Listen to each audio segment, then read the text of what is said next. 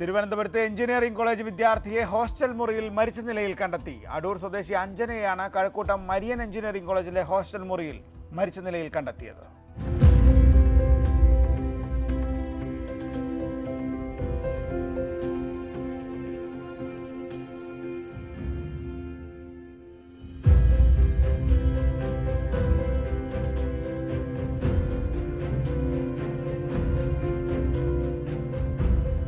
മൂന്നാം വർഷ ആർക്കിടെക്ട് വിദ്യാർത്ഥിനിയായിരുന്നു അഞ്ജന.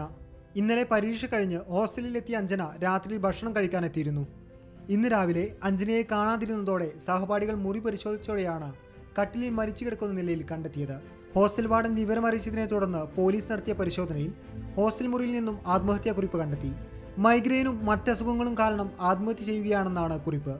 ഗുളികകൾ അമിത അളവിൽ കഴിച്ചാകാം ആത്മഹത്യയെന്നാണ് പോലീസിന്റെ പ്രാഥമിക നിഗമനം. പഠനത്തിൽ മിടുക്കിയായിരുന്ന അഞ്ജനയ്ക്ക് ആത്മഹത്യ ചെയ്യേണ്ട മറ്റ് പ്രശ്നങ്ങളൊന്നുമില്ലെന്നാണ് ബന്ധുക്കൾ പറയുന്നത്. സംഭവത്തിൽ വിശദമായ അന്വേഷണം നടത്താനാണ് പോലീസിന്റെ തീരുമാനം. പോസ്റ്റ്മോർട്ടം റിപ്പോർട്ട് വന്നതിന് ശേഷം സംഭവത്തിൽ കൂടുതൽ വ്യക്തത വരുമെന്നും പോലീസ് പറയുന്നു.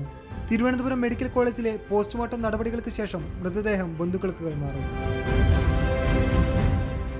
ഏഷ്യാനെറ്റ് ന്യൂസ് തിരുവനന്തപുരം.